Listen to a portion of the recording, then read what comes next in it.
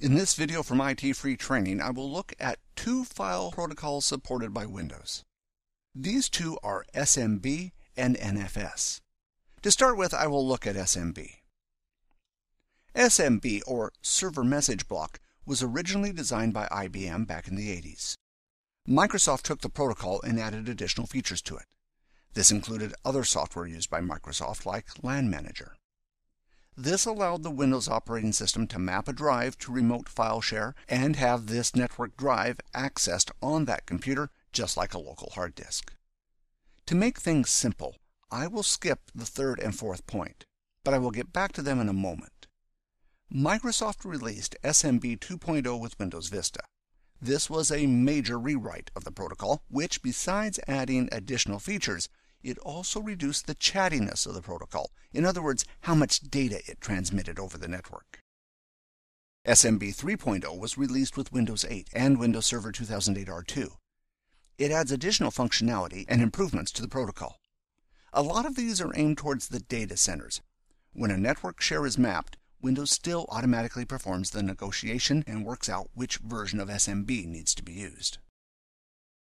So, what were those points that I skipped?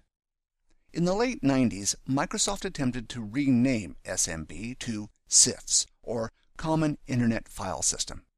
This attempt was unsuccessful, so I skipped these points so as not to confuse you. CIFS had some additional features added to it. However, the name did not catch on, and future versions used the name SMB. For this reason, CIFS is referred to as a dialect of SMB. You may hear the terms SMB and CIFS used interchangeably, but they are essentially referring to Windows file sharing. As we move forward, however, only the term SMB should be used, and CIFS should be remembered as a thing of the past.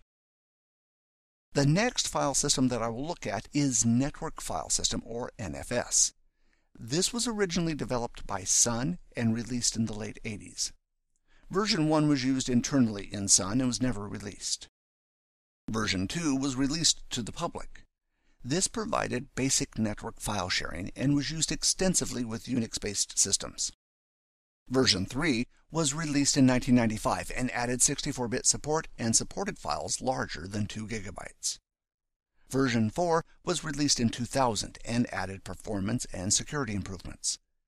These improvements allowed for additional security methods to be applied to authenticate users, for example, Kerberos making version 4 of the protocol a lot more secure than previous versions. In the real world, which protocol would you use? Windows shares support SMB, NFS, or both. It is just a matter of configuring which one you need or both if you need both. In the real world, it is best to use a native protocol when possible. If you are connecting two Unix computers together, it is best to use NFS. If you are connecting two Windows computers together, it is best to use SMB. Even though both protocols achieve file sharing, there are differences in the way Windows and Unix-based systems handle file systems and users that use these systems. Mixing the two systems can lead to problems. NFS is good for host authentication. If you want to connect two servers together, you can do this quite easily. This can be placed in the boot up configuration and the data available to the operating system without having a user logged in. You could even connect to another server based on its IP address only. Windows requires user authentication in order to connect to an SMB share, and generally the user needs to be logged in. It is possible to get around this, for example, for services running on the local system, but it is not as simple as NFS makes it. Windows is good for user authentication. Until version 4 of NSF, this was something that NFS did not handle that well and was prone to security problems. If you have a domain, then Windows handles user authentication quite well. Ultimately, the choice comes down to which operating system you are using and your software requirements. In later videos, I will look at how Windows file sharing works and also how to use NFS file sharing using Windows Server. Well, I hope you've enjoyed this video and found it useful. For more free videos, please see our website or YouTube channel.